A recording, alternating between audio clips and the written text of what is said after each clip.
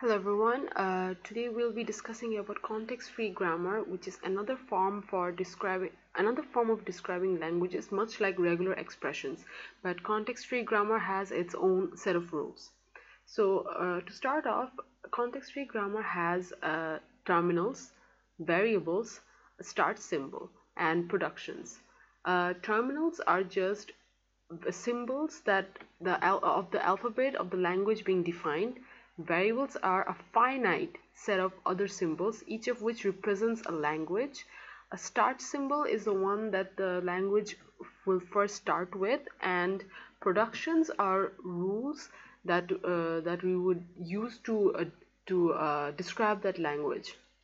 So for the example of variables could be A, B and C and variables are usually on the left hand side of a production and example of terminals are small letter a small letter b small letter c or 0 1 etc and they're usually on the right hand side. Numbers and small letter symbols are usually uh, uh, given as terminals. And uh, the, the best way to identify a terminal and a variable would be to observe the productions which we're looking into right now. So these are productions. Productions have this uh, arrow symbol uh, that determines the rules. And these these uh, what what this means is that uh, this um, the this letter the symbol on the left hand side can be replaced by 0 1 so the, le left hand side is usually the variables and the ones on the right hand side that are not the uh, that are that do not have the left hand side symbol is are the terminals. So S is a start symbol as well as a variable and 0 1 are the terminals. Here S is also S is still a variable because this S could just be replaced with the left hand side. Basically everything on the left hand side are the variables and everything on the right hand side are the terminals except these variables that are again written. And start symbols are the ones that uh, that are always at the beginning of a production and in the beginning of a production all the uh, variables at the beginning are all start symbols so it's uh, in the questions it will always be given which are variables and which are terminals. But the easiest way to know is that the left hand side one are the variables and the right hand side one are the terminals. Right. So context-free grammar what it usually does it just gives derivations. It gives iterated derivations. It just replaces a symbol with another symbol. So we know the rules or the productions for the, this context-free grammar is s goes to 0 1 and s goes to 0 s1 so we first start off with the start starting symbol. So the starting symbol we go to uh, we always uh, go to 0s1 we could start with 0 1 2 but depending on the language that we're trying to get we use that. So the language that we're trying to get the, the language that we're trying to derive is 0 to the power n and 1 to the power n. So how do we derive that? First we write 0s1 now 0s1 why do we use 0s1 and not 01 because if we just use 01 we can't replace anything. 01 is the final state and uh, the, there are no variables that we could replace here. We use 0s1 because there's a variable s which could be replaced further with the same productions. So we start with 0s1 and then we replace s with again 0s1 because s goes to 01 or 0s1 so we uh, replace s with 0s1 again and after that we replace the this s with 0 1 to make a point that uh, we have the equal number of zeros and equal number of ones. So 0 to the power n and 1 to the power n is satisfied. Um, then now we're going to look at some examples of how to um, write context-free grammars. Right. So suppose we need to write we need to design a context-free grammar for a substring of that, that has a substring of 101 how do we do that? So first let's define a start symbol and we define a rule. So 101 has to be there and we don't care what what we get in the beginning we don't care what we get in the end. So since we don't care what we get in the beginning we don't we don't care what we get in the end so let's write a rule for that. So e could be uh, any symbol of 1 anytime 1 can be replaced and it could be any symbol of 0 or it could be epsilon. So e could be replaced by one e again and one e and just to epsilon or it, e could be replaced by zero. So one zero one zero there could be many combinations of strings. It could be one zero one one or one one zero one and stuff like that. So this is the uh, context free grammar rule for this. How do we test it out let's start uh, from the start symbol. So let's go to uh, let's let's say we want to derive this symbol one one zero one zero. Okay? So 101 is the substring here. So let's write e101e now let's replace e with 1e and 101 and let's replace this e with 0e because we want to get this here and we want to get this one now let's replace the e's with epsilon uh, so 101 and let's replace this e also with epsilon. So 11010 we get this. We do get this string. So this this context free grammar is accepted. Now let's look at the next one. We need to have we need to design a CFG such that it has at least three zeros right. So to design a CFG with at least three zeros what we could do is we need to know that we, we know that three uh, the number of zeros that we would have in a string is uh, minimum number of zeros is three. So there could be uh, it, the strings could the string could be something like 0 1 0 1 0 or 0 0 0 just 0 0 0 or 1 1 0 0 1 0 something like that. So in the middle of the, these zeros this, it wasn't mentioned that this the three zeros have to be consecutive. So in the middle of the zeros there could be any symbol. So let's write in the beginning also there could be any symbol. In the middle it could there could be any symbol. And in the end also there could be any symbol. So we just know that there will be the minimum of threes that we will have the minimum of zeros that we will have is three. So this e could be further replaced by 1e or 0e or epsilon much like the previous CFG so we could again test this out. Uh, let's start with the start symbol.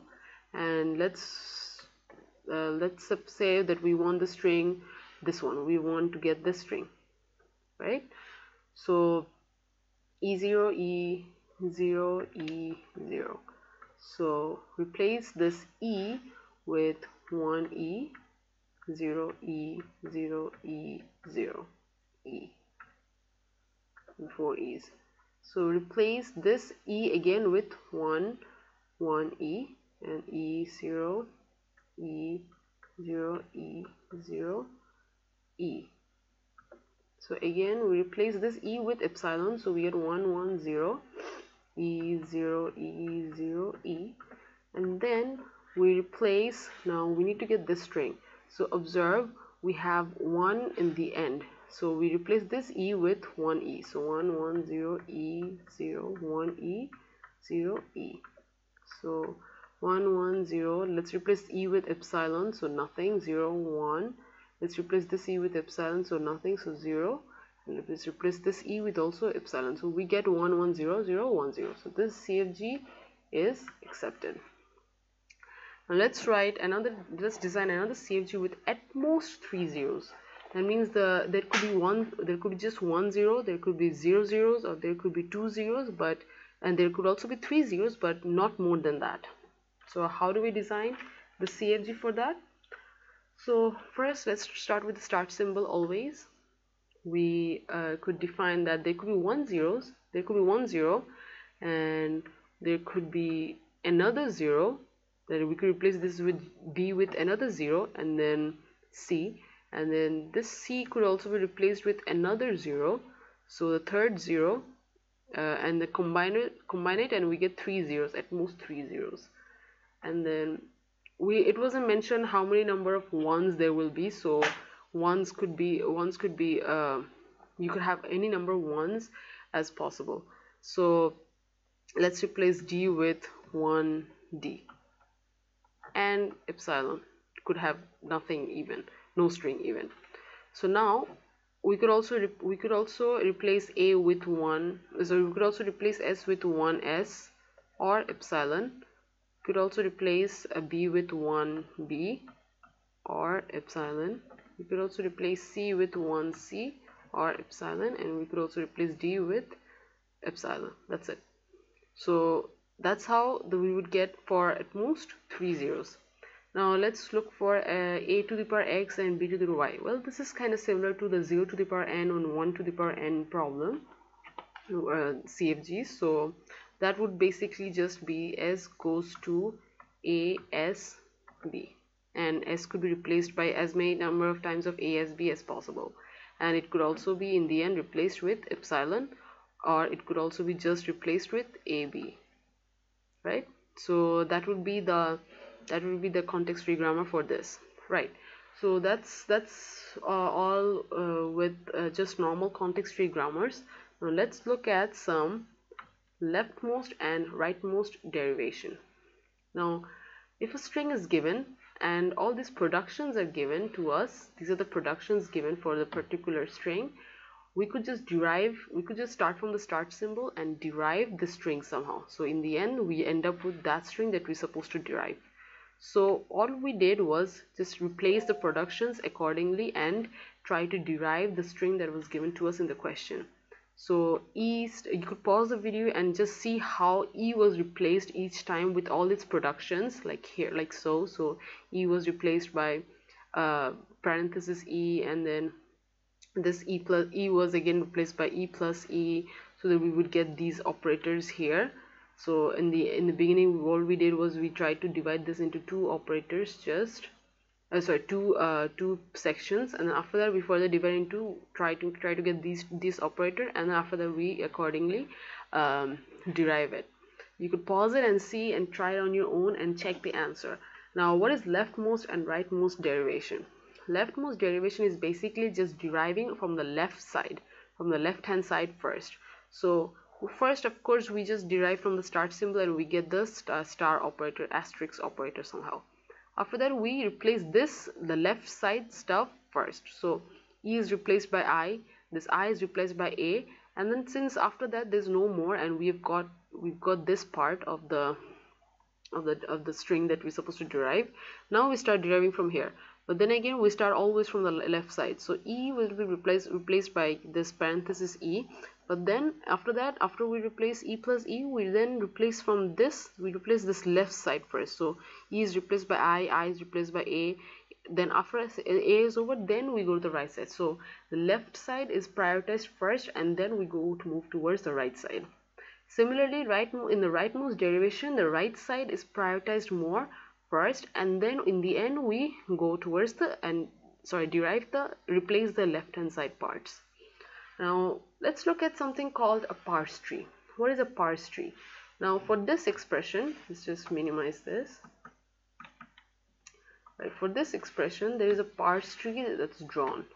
So what it basically does is it's another way of uh, representing uh, it's another way of representing sorry yeah so it's another way of representing this derivation here over here uh, like this. So you could replace you could uh, uh, what you call you could uh, represent it in this format in an equation sort of format algebraic equations format or you could um, use a parse tree and represent it in that way. So as you can you can mix and match this parse tree with this uh, algebraic equation format. So e was first it always it starts from the start symbol. Here the start symbol is e so from, from E it's divided into two, uh, two part, three parts to get the star asterisk operator. From then we then uh, we then replace this E with uh, the parenthesis E and then we replace this middle E with E plus E and so on. You could pause the video and see if the answer matches and you could see how a parse tree uh, is so much similar to this. It, it's actually up to you whichever you find easier or you could just draw both if the question begs for it uh, but yeah that's how you represent these uh, derivations. That's all about context-free grammar. I hope you uh, the concept is a bit clearer after watching this video. Give a thumbs up to support this series and